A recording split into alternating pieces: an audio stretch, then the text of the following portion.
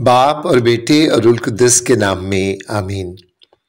मसीसु में मेरे अज़ीज़ भाइयों और बहनों और प्यारे बच्चों, आप सबको कराची, पाकिस्तान से शौकत भट्टी का सलाम व प्यार पहुँचे।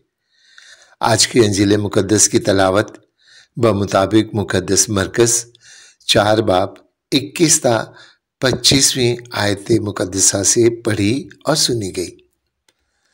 जैसा कि चौथे बाप के आगाज़ में ही मुकदस मरकज़ लिखते हैं कि खुदा यसु लोगों को तमसीलों में बहुत सी बातें सिखाने लगा। और आज की तलावत में भी दो तमसीलों का ज़िक्र है। पहली तमसील चराग के मतलब है। मेरे जीजो खुदा यसु ने कहा कि चराग इसलिए लाया जाता है कि पैमाने या पलंग के नीचे रखा जाए। या क्या इसलिए नहीं कि चिराग दान पर रखा जाए? और ये तमसील मुकदस मत्ती पाँच बाब चौदह था पंद्रहवीं आयत में, और मुकदस लुका आठ बाब सोलह था अठारहवीं आयत में भी लिखी गई है। बाइबल मुकदस में चिराग को ख़ास अहमियत हासिल है। चिराग खुदा के कमाल और मुस्तकिल रहनुमाई की अलामत है।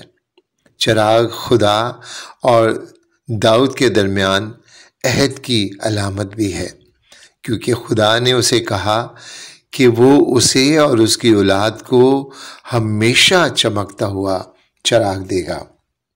चराग हदायत की अलामत भी है। वालदेन की रहनुमाई को चराग से तशबी दी गई है और हर शख्स की रूह खुदावन का चराग है। खुदा के कलाम का मुआजना भी एक चराग से ही किया गया कि तेरा कलाम मेरे कदमों के लिए चराग और मेरी राह के लिए रोशनी है। मुकदस मत्ती लिखते हैं कि आँख जिस्म का चराग है। चराग रुल कुदस के फजलों की मिसाल भी है। मेरे जीजो गरज घर हो या खुदा का घर? आम शादी की तकरीब हो या मजहबी तकरीबात। उन्हें रोशन रखने के लिए चराग जलाया जाता है ताकि तारीकी ख़त्म हो जाए और रोशनी हो जाए। मेरे जीजो तारीकी क्या है? तारीकी बजाते खुद कोई अपना वजूद नहीं रखती और ना ही तारीकी का कोई मंबा है।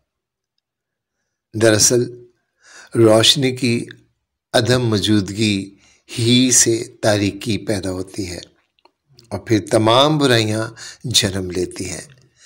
बाइबल मुकदस हमें बताती है कि दुनिया की तख्लीक करते वक्त खुदा ने पहले दिन रोशनी को ही खल किया और सूरज, चाँद, सितारे चौथे दिन खल किए।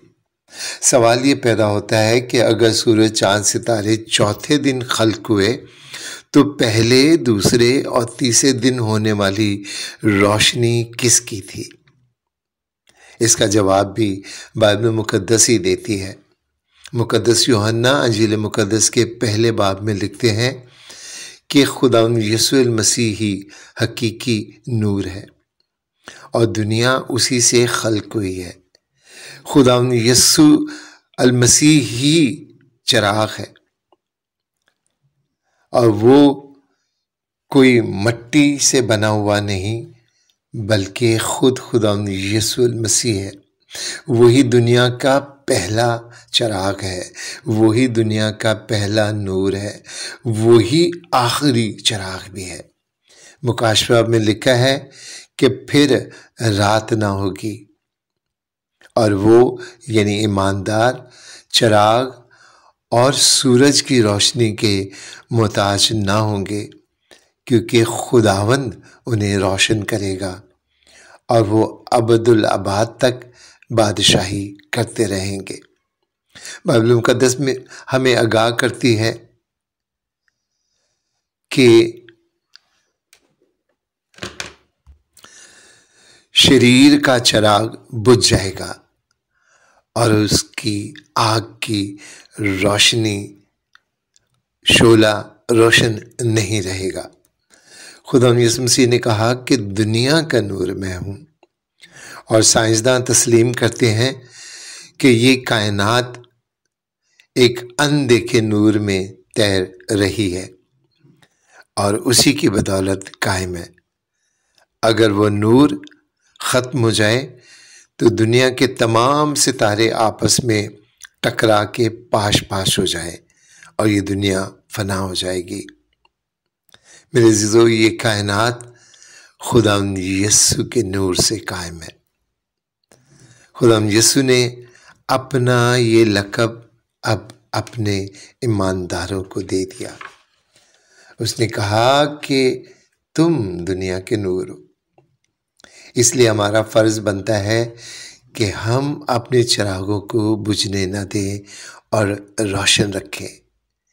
क्योंकि बाइबल मुकदस में रोशनी का मतलब पाकिजगी, नेकी, इल्म, हिकमत, फजल, उम्मीद माफ़ी और खुदा का जलाल है।